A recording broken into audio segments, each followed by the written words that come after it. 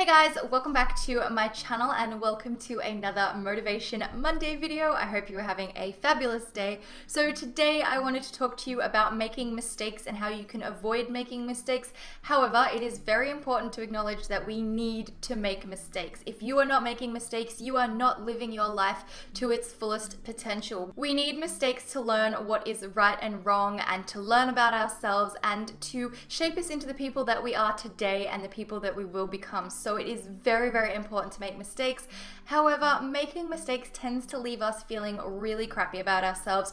We can get that, you know, that really awful anxiety after you've made a mistake where you just like you hate yourself. You think you're an idiot, you feel stupid, and you just kind of start to self hate. And if you keep making lots of little mistakes or, you know, a few bigger mistakes, it snowballs and then it can really throw us off course and we can really start to get into a bit of a depression and really hate the way that we look at ourselves and hate the kind of people that we are. But there's always a way to come out of it and there's always a way to stay on top of it. And so in today's video, I wanted to share with you a few tips to, you know, maintain a good positive frame of mind when it comes to making mistakes, how you can avoid starting to make those little mistakes, and how you can see the benefit of making those bigger mistakes and avoid being too hard on yourself and really hating yourself after making mistakes. So I hope you guys find this video helpful. If you are in one of those ruts where you just are feeling really, really stupid, I'm hoping I can break you out of it and hope you I can inspire you to see yourself a little bit more positively and see your mistakes more positively as well. So let's get started. The biggest part to this, I think, is being more self-aware and self-awareness is going to help you in every area of your life. But when you are more self aware, you have a better understanding of yourself, you are more in tune, and you also have a really good understanding of how your words and your actions affect other people and also how they affect yourself. And so this is kind of new to me. I feel like maybe over the last year or so, I've been working on being more self aware and it's changed my life. I think I would like to talk about this in more depth, um, especially because it goes hand in hand with meditation, and that's something I promised I would talk to you about. But being self aware, I think, helps us just be better people, and I think it's um, a skill that we all really need to work on having and bringing into our lives. So, one of the biggest ways to create self awareness and work on your self awareness is meditation. Um, like I said, I will be doing more videos about meditation, but I think overall, meditation is a great way to help you become more self aware. It slows you down into a specific moment, it lets you become more aware of your body and your thoughts, and in turn, it helps you slow down your thought process and understand um, the information that you're giving out and the information that you're getting back in a much more slower, logical uh, manner, which I think is very, very important. So, um, aside from meditation, I have three things to share with you that can help you slow down your thought process and become more aware of what information you're taking in and what information you're giving out. So, the first one is to read or listen more thoroughly. I think sometimes when we read an article or we read, a Facebook status, we read it so quickly that we don't actually have a thorough understanding of it, and then we jump in with an opinion and we can get really fired up and nasty. And then you look back and you're like, for multiple reasons, you're like, I didn't handle that very well. I also didn't have all the information or the facts, and I misread that. I've just made a mistake and made myself look like a fool. And that happens to everybody and it happens all the time. And I think when you read things and you slow down and you have a thorough understanding of what is being written on a piece of paper or on the internet before you respond is a great way to um, slow down your thought process, have a thorough understanding of what's going on before you choose to respond in the case of being in person, listening, you know, listening is really important, whether it's videos or someone talking to you, person like face to face, or even like texting, which is kind of written, so that doesn't really count. But in the case of audio, listening is very, very important, making sure that you have listened to what is being said to understand it before responding and saying something that you might later on regret or doing something as a result of hearing or reading something that you may later on regret because you didn't have all of the information. The second thing is to do some research. If you read uh, this, I don't even know, let's not even, oh, Fake news. Let's, yeah, we're going to talk about fake news. There's fake news all over the internet at the moment. And you read an article and you think, man, that has like really struck a chord with me and I want to get involved only to find out that after you've said something about it, it wasn't even true or it wasn't entirely true or it wasn't the full story and then you end up looking like a fool because you failed to do the research to understand what it was that you were talking about. So doing some research and this could apply to anything, articles, again, Facebook statuses, um, Instagram statuses, people in real life. It's about doing some research to make sure that you've got every angle covered because sometimes when you've got the blinkers on you only know this much information you can end up you know making mistakes and saying things that you regret or behaving in ways that you regret. So it's really about widening your knowledge of all different kinds of things in the world and having a better understanding and understanding where and why your opinion is the opinion that you have before expressing that or in the case, you know, of doing something physical, like make sure you thoroughly understand something before getting yourself into it. It could be a deal or um, a holiday deal or an adventure deal or something, and you want to make sure that you've thoroughly understood everything that's going on before you can put yourself into any kind of physical danger or anyone else in physical danger.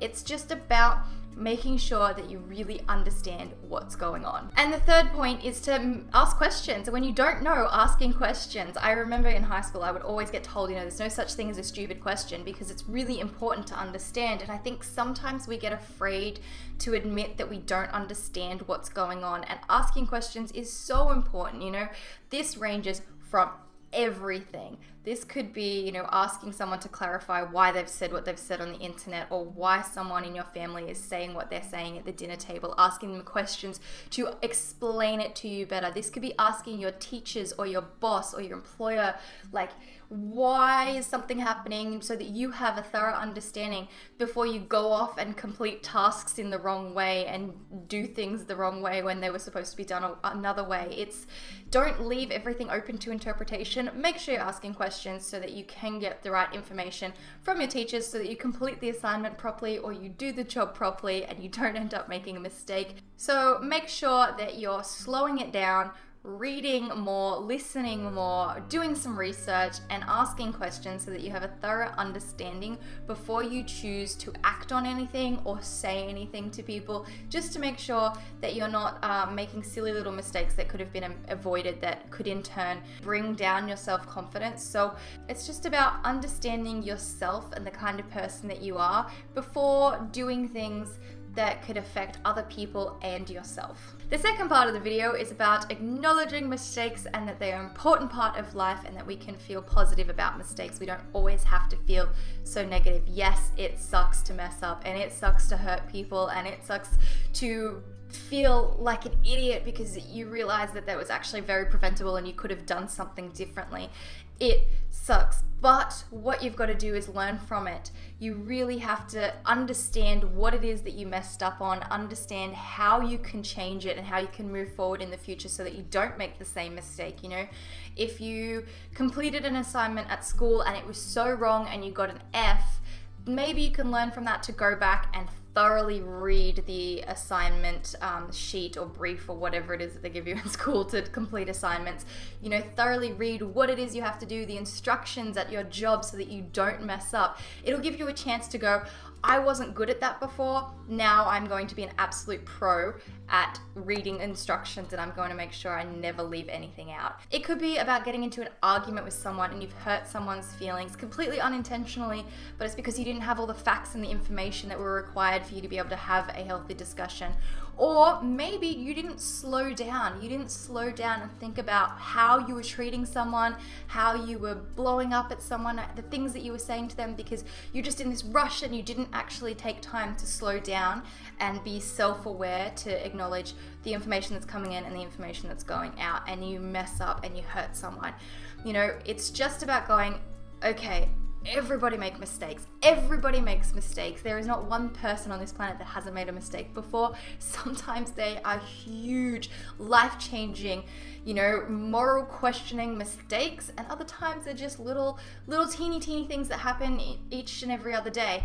But these are things that we need to accept and acknowledge and learn from and move on from. So the next time that you make a really big mistake or you make a really little mistake, just remember that I've made a bunch of mistakes. The person next to you has made a bunch of mistakes. Your whole family's made a bunch of mistakes. Everybody makes mistakes. It's just the the best way to approach it is to learn from it.